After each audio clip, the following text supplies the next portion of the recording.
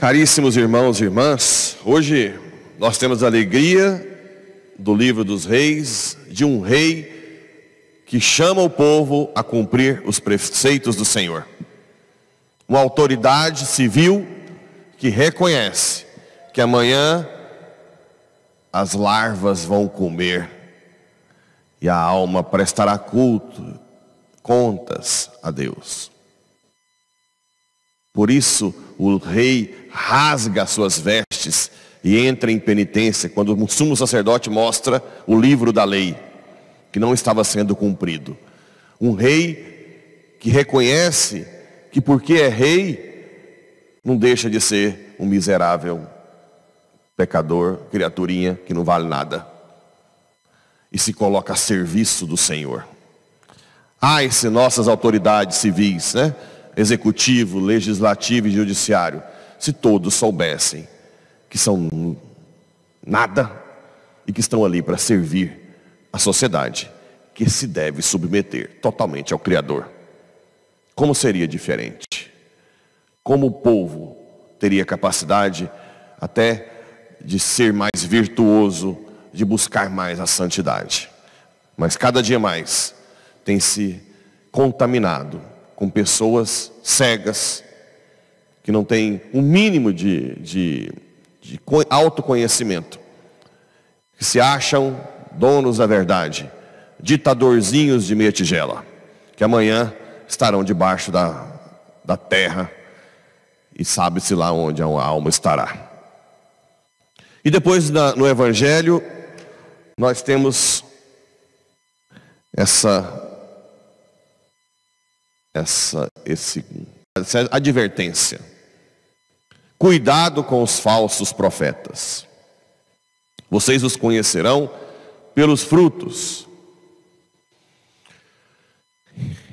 Se fosse o problema hoje só na autoridade civil, estava ótimo. Mas nós estamos vivendo uma crise nas autoridades eclesiásticas, né? Os falsos pastores de igrejas evangélicas, somente não, mas também da igreja católica. Tem gente que fala assim, padre, é pecado se ir seguir um padre? Olha, o que é seguir o padre? Se for seguir a pessoa do padre, realmente. Agora, se você busca um padre que fale de Deus, do céu, da santidade, eu ando mil quilômetros por dia, se for o caso.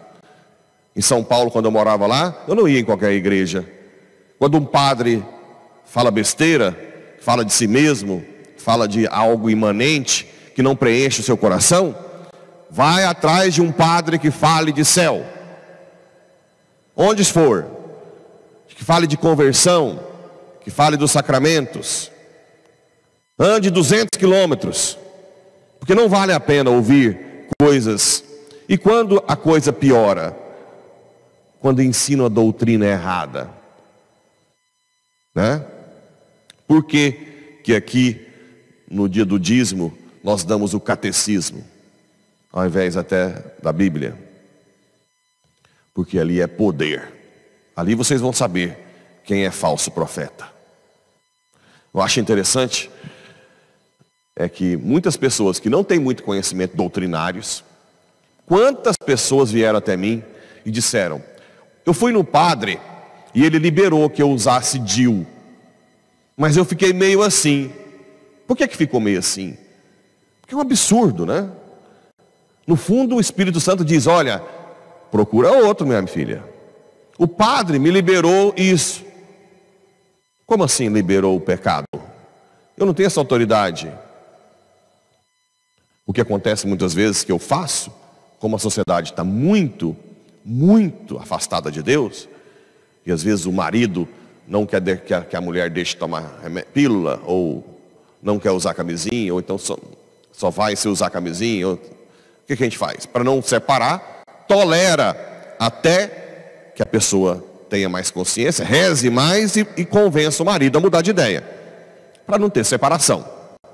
Mas não é que eu permito eu não tenho esse poder de permitir algo.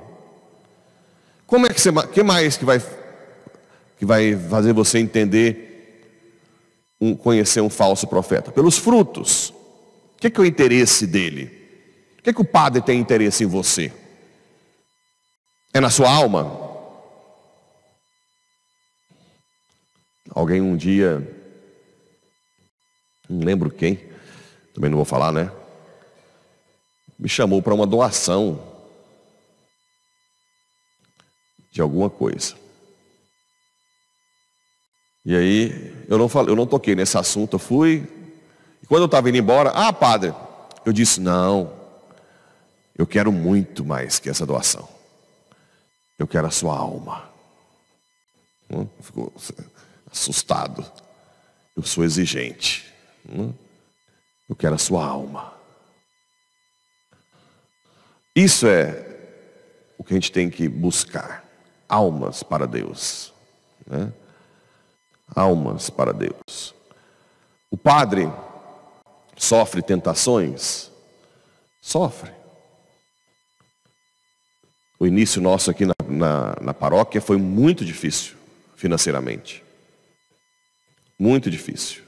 A tendência é que selecione amizadezinhas com pessoas com mais dinheiro. Eu hoje até tenho misericórdia Antes eu era muito mais duro com alguns padres, né? Hoje eu entendo um pouco mais pela dificuldade que nós passamos, mas não justifica que isso, não, que isso continue. O padre tem que, com o tempo, rezar e buscar conversão nesse aspecto. Tirar esse peso de querer né, só a lã da ovelha, o leite da ovelha.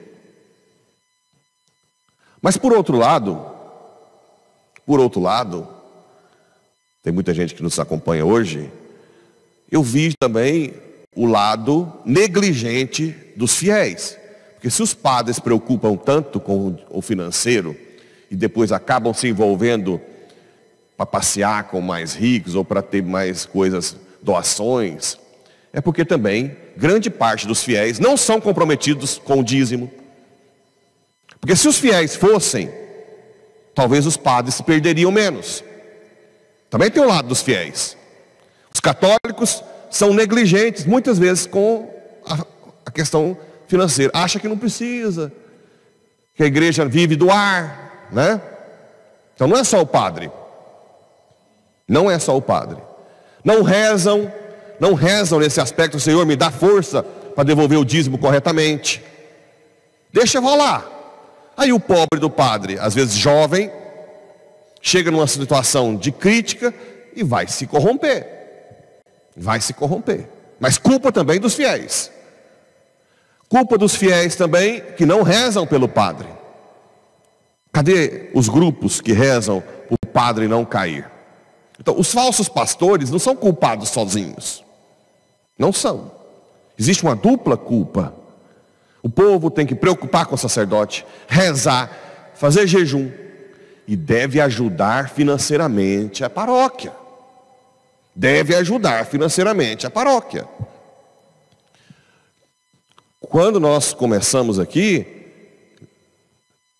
a gente, a gente praticamente sofria todos os dias, achando que não ia conseguir pagar as contas. Imagina, eu tinha uma estrutura humana de uma vida anterior. E se fosse um padre muito jovem? O que vocês acham que ia acontecer? Ia se perder. Ia se perder. Então, os falsos profetas, o que mais que vocês podem identificar? Mexer com a doutrina, querer agradar, né? É, mudar a doutrina para agradar a pessoa, para a pessoa não ir embora, né? Tem um preço alto falar a verdade. Eu já ouvi coisas da minha pessoa, que se eu fosse um, um sensívelzinho, já tinha batido a cabeça na parede. Mas nem tchum para mim. Porque minha consciência está ligada a Deus. O máximo que eu faço é fazer um, um, uma avaliação geral ali na capela, quando Deus fala que realmente tem alguma coisa que pode ser melhorado. A gente melhora, o resto vem o resultado sem vírus, né? Faz lá o a varredura, toco a vida. Mas tem padre que não é assim. Tem padre que é mais sensível, que não consegue suportar as calúnias, né? E aí vem o outro problema dos nossos fiéis. Uma coisa que não é que eu tenho feridinha com isso não, mas a grande maioria dos fiéis, quando ouvia as calúnias, ficava em cima do muro. Eu não tenho nada a ver com isso, eu vou lá, mas eu não tenho nada a ver com essas, com essas coisas polêmicas, se safam, ao invés de falar, peraí, peraí, isso é ideia dele ou é a igreja? Isso é ele ou é o catecismo? Você deve estar muito enganado. Eu acho que o que está acontecendo ali é alguém que está falando o que a igreja diz. Não se safar, não se esquivar da luta. Assumir sua condição de batizado. Então hoje é um dia que eu critico sim o falso profeta. Mas também ele não, ele não, ele não nasceu sozinho. Existe uma culpa do lado de lá também. Um padre santo é santo porque os leigos são santos. E os leigos são santos porque o padre é santo. Existe uma interação entre padres e leigos. Isso é importante vocês estarem atentos, porque virão outros padres. E antes de jogar pedra, rezem. Rezem muito. Né? Ajude a igreja para que o padre não se corrompa.